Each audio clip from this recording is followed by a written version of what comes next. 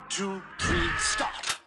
Bablu Dablu की नई film Hindi में पहली बार 2019 का सबसे बड़ा प्रीमियर बबलू डब्लू आ गए लखा के काका 9 जून, दोपहर 12 बजे, सिर्फ़ बिग मैजिक पर